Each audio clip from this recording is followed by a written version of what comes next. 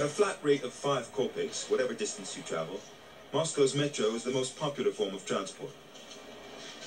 No tickets needed, just pop your coin in the slot, and you're on to the world's cheapest and most lavish underground system.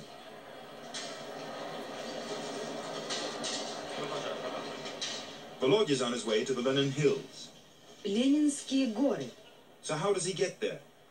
Well, on every platform wall, there's a friendly route indicator. Проспект Маркса. Библиотека имени Ленина. Кропоткинская.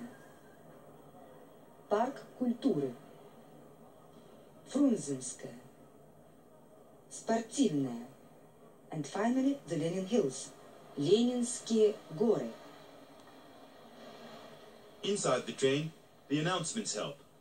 Осторожно, двери закрываются. Be careful, the doors are closing.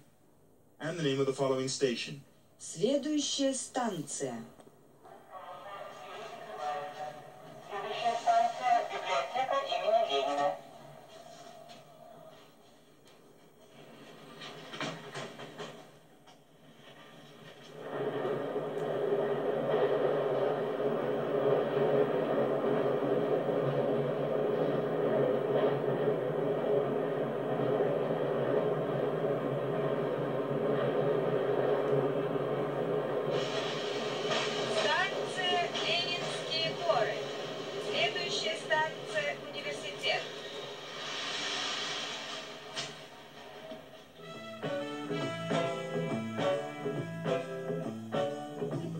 подвиг и это, не прожить в мире.